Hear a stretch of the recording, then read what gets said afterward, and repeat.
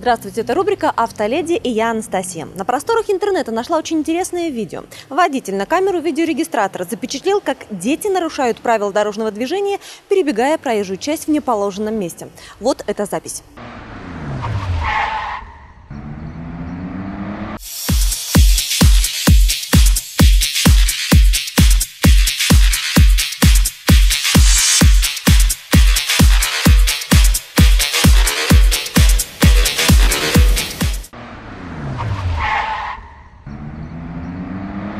Вот он тот самый перекресток, где дети нарушали правила дорожного движения. А может быть, они и не нарушали? Мнения пользователей социальных сетей, где был размещен этот ролик, разделились. Один на стороне детей, другие на стороне водителя. Как все-таки правильно нужно было поступить автомобилисту в этой ситуации? Пропускать или не пропускать? Об этом мы спросим преподавателя автошколы учебно-технического центра в деревне Фомина Василия Красодымского. Василий, здравствуйте. Здравствуйте. А, Василий, вы наверняка видели этот ролик, о котором мы сейчас разговариваем. И вот мне интересно, кто вообще прав, кто виноват в этой ситуации с точки зрения правил дорожного движения? Да, конечно, я этот ролик видел и оставил там свой комментарий, как я считаю э, правильным. С точки зрения правил дорожного движения, данный перекресток, если рассматривать его со стороны улицы Орджоникидзе, подъезда, э, имеет трехстороннее пересечение. То есть, получается, у нас имеется дорога главная, которая поворачивает в данном случае направо. Это мы видим на соответствующем знаке, который установлен перед э, пешеходным переходом. Ну, перед соответствующим перекрестком получается знак 2.1, главная дорога, а под ним табличка закреплена, ну или знак дополнительной информации 8.13, который как раз таки показывает, что главная дорога поворачивает направо. Ну и получается по правилам дорожного движения с учетом раздела 13 правил у нас 13.1 пункт правил четко говорит, при повороте направо-налево водитель обязан уступить дорогу пешеходам, переходящим проезжую часть, на которую он поворачивает. Если пешеходы захотят перейти дорогу э, от данного участка, где мы сейчас находимся, к Стелле, то водители, двигающиеся со стороны Раймага магазина, обязаны им уступить дорогу. А если водители едут как раз-таки в сторону Раймага, должны они уступать или не должны? По правилам дорожного движения вот они не должны. Как то есть быть? не, не, не, не должны, не обязаны, да, то есть не обязаны.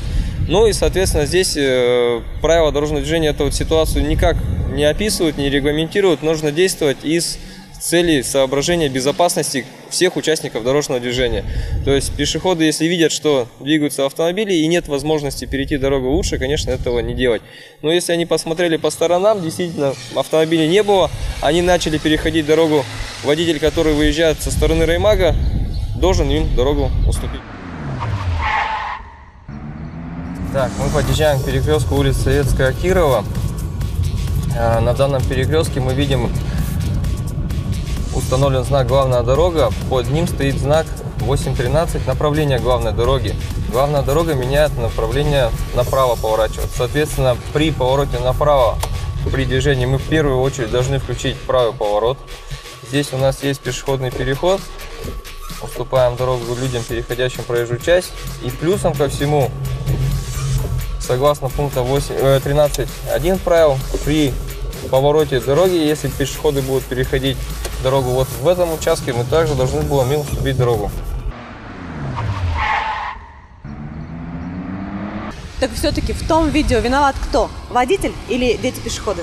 Вины водителя здесь нету, потому что он уступил дорогу все-таки пешеходам, да? Ну и, соответственно, корить за то, что пешеходы переходили в неположенном месте, тоже не получается. А, Василий, скажите, а вообще много ли в городе вот таких вот э, перекрестках, похожих на этот? Перекрестков предостаточно. Конечно, поблизости вот у нас здесь находятся два перекрестка. Это возле пожарной части, улица Красноармейская революции. И недалеко здесь у нас есть перекресток Кирова, Ленина, возле районной больницы.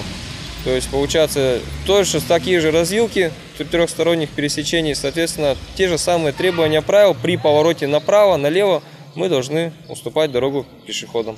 Мало кто это делает, ну и, соответственно, повороты подавляющее большинство водителей тоже, конечно, в этих э, случаях не включают, что является нарушением правил дорожного движения.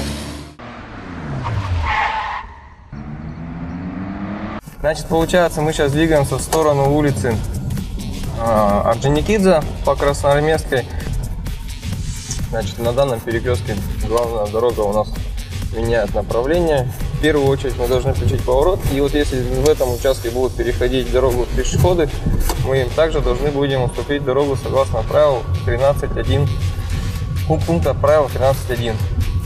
Кроме этих перекрестков у нас еще поблизости находится перекресток улиц Кирова, Ленина, недалеко от районной больницы. Соответственно, на этом перекрестке точно так же имеется развилка. И, соответственно, на данной развилке мы также имеем возможность повернуть как направо, так и налево.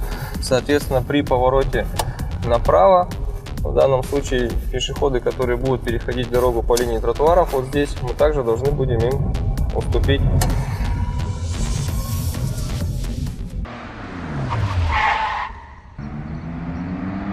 Что, проведем небольшой эксперимент. На этом участке дороги автомобилисты должны уступить дорогу пешеходу, то есть мне.